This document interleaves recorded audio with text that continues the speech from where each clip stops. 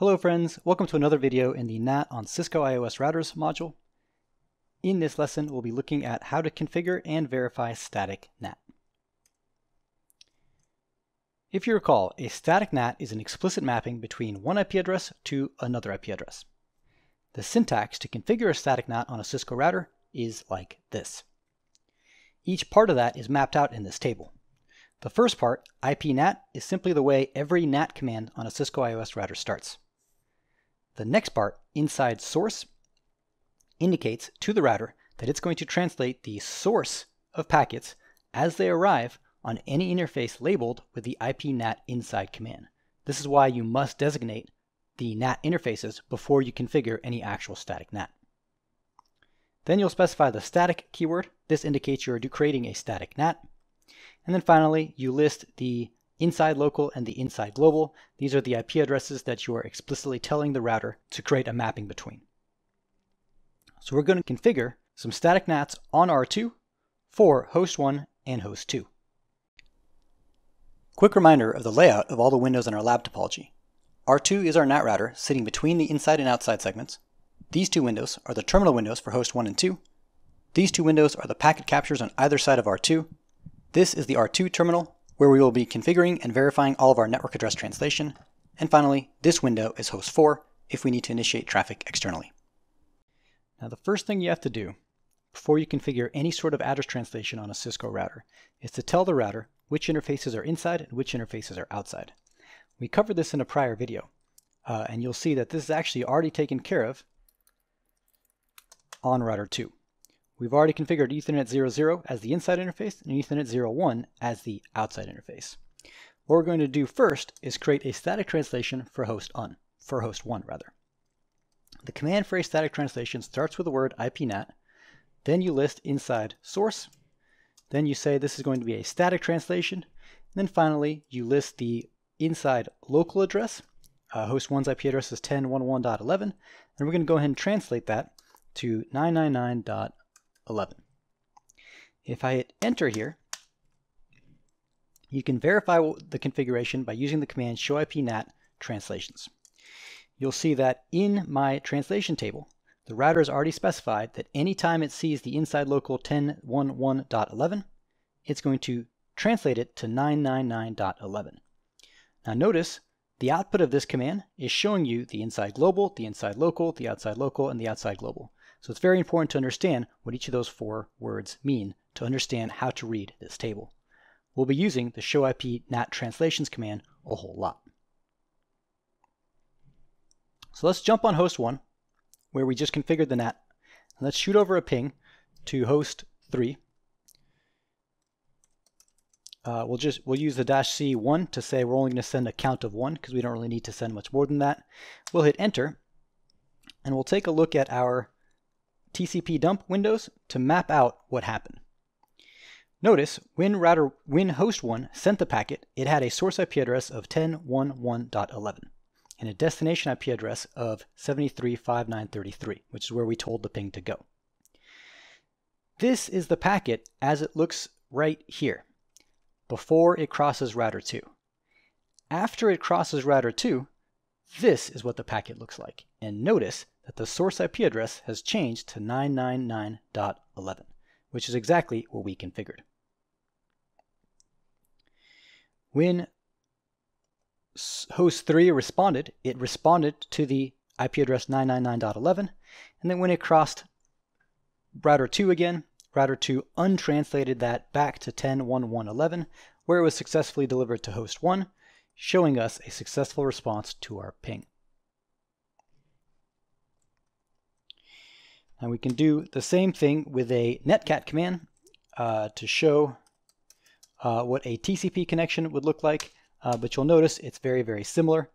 On this side of router 2, it was uh, from 10.1.1.11, source port 36673 to destination 735933, port 80. On the other side, the only thing that changed is the source IP address. Notice 999.11 versus 1011.11. Notice the source port didn't change. Uh, the only thing that changed is the layer 3 header, hence this is definitely a NAT, a network address translation. And also notice it changed in accordance with the directions we explicitly provided, hence this is a static configuration. If I do my show IP NAT translations command again, you'll see that there's an entry now correlating to this packet right here. Let's talk through it. This entry is indicating that the inside local of 10.11.11 port 36673, which is exactly what the packet was when it left host 1, was translated to the inside global of 999.11 port 36673. Once again, the port number, the port number didn't change.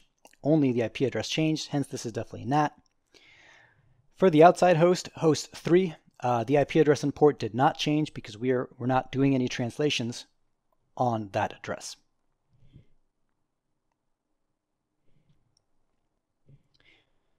Okay, so let's go ahead and configure a second static NAT.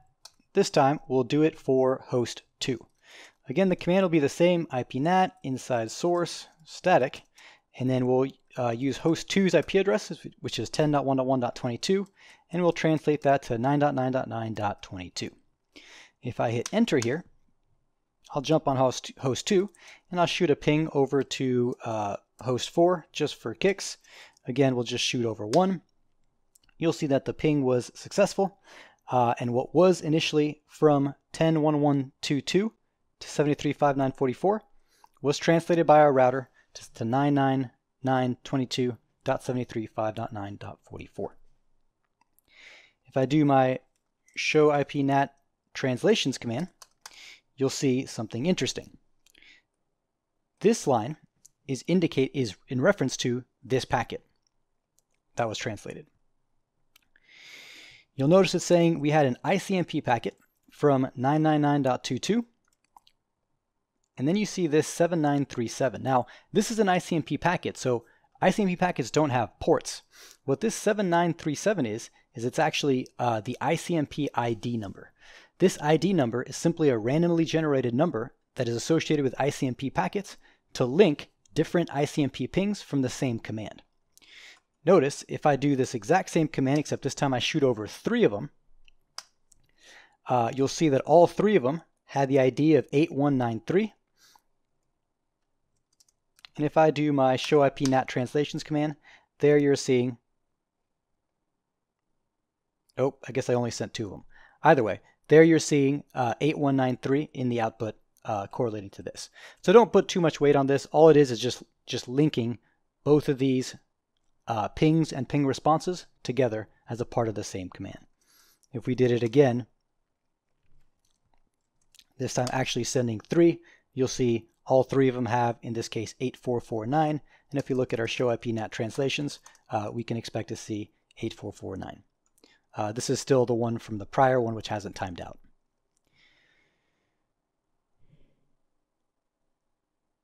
Cool, so that is a static NAT. Uh, just to complete the uh, circle, we'll also we'll also do a uh, netcat, so we can show you a TCP connection between host 2 uh, and host 4. So 3, 5, 9, 4. Uh, we'll use port 80. Enter a few times to space this out. And there you'll see there's a SYN request. It went from 10.11.22 uh, source port 4467.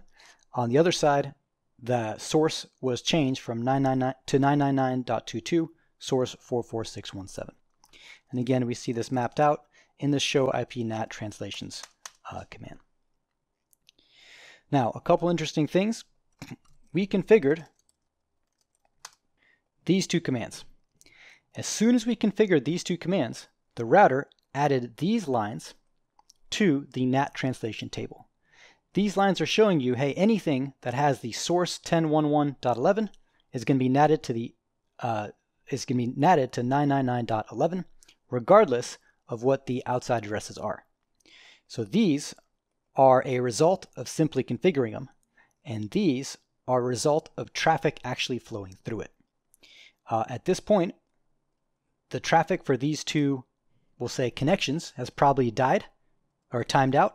So if I do the show IP NAT translations command, as expected, we're only showing you the result of the configuration. If I shoot over another ping, or in this case another telnet, uh, not a telnet, another netcat TCP connection, and I do show IP NAT translations. Now you'll see this line is a result of actual traffic flowing through my device, whereas these two were simply a result of the configuration itself. So that wraps up the lesson on configuration and configuring and verifying static NAT on a Cisco router. In total, in total what we configured, we had done the NAT interfaces in a prior video, and these are the static NAT commands that we configured in this video. I hope you enjoyed this video. I want to thank you for watching, and I'll see you in the next one.